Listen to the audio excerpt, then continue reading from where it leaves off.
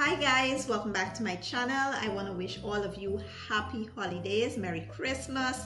Today I'm going to show you how to make pepper pot in a crock pot or a slow cooker. But before we jump into the recipe, please don't forget to hit the like button, share, subscribe, and leave a comment down below. Let's jump right in.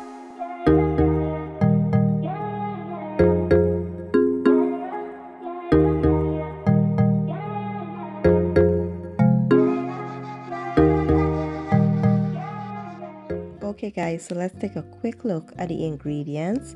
I have very few limited ingredients here because this will be a simple version of pepper pot. Here I have my meats already washed and prepped. I'll be using some cow foot or cow heel, some beef shank, and some chuck roast beef. If you want to use pork or any other kind of meat, you sure can. I have some authentic Guyanese cassareep here but if you can't find the authentic kind, use whatever you have available to you. I have some fresh green seasoning. I'll show you how I prepare it in just a minute. I have some salt, all purpose seasoning, black pepper, brown sugar. For the spices, I have some orange peel, cloves, cinnamon, star anise, one habanero pepper, and some um, some thyme. So for my green seasoning, I'll be using some garlic, onion, ginger, thyme, scallion, basil, and some uh, habanero pepper. What I did was place everything into a blender with a little water just to get everything going and blend to a smooth consistency because you don't want chunks of onions and garlic and stuff in your pepper pot. So you want to blend everything until it's nice and smooth.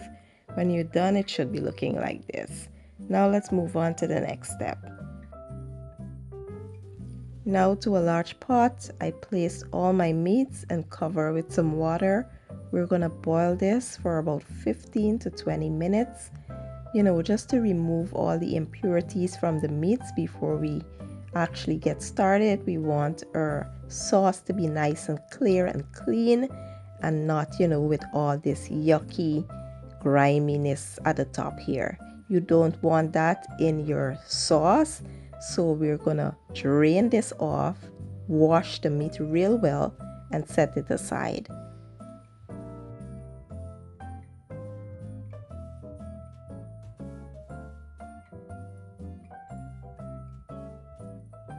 So now to my crock pot or slow cooker, I will add some hot water. This is just to get things going a bit faster and we will start to add the rest of our ingredients. You want to create that nice rich sauce first before you start adding the meat. The meat is the last thing we will add in here. This is just a different method, so bear with me. So once we add our seasoning, we will go in with, you know, the green seasoning. We will add our, um, uh, our sugar. You want to add your rib and all that good stuff in here. And what you want to do is mix really well to combine. And you can add cassareep to suit your preference. However dark or light you want your um, your pepper pot, you add cassareep to suit your own preference. And everything here is edible. So what I like to do is once I've added all the ingredients and created that sauce, I go in and taste it first and make sure that it's good before I add my meats. So you want to mix this until it's very well combined. Taste it, make sure it suits your preference, and then we're going to start adding our meats. Once I tasted this, it felt like it needed a bit more flavoring, so I added some more salt and all purpose seasoning, and it was perfect. And like I said, once it's good, you start adding your meats. I like to add all the toughest meats first at the bottom, and I add the, you know, the uh, the meats that's more softer at the top.